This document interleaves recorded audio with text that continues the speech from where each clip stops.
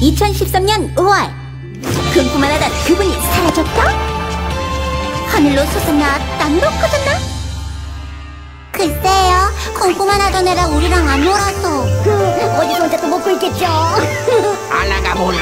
팬다가 왜 날아갔는지. 과연 팬들에겐 무슨 일이 있었을까요? 지금 바로 위니 페이스북에 재미있는 사연을 남겨주세요.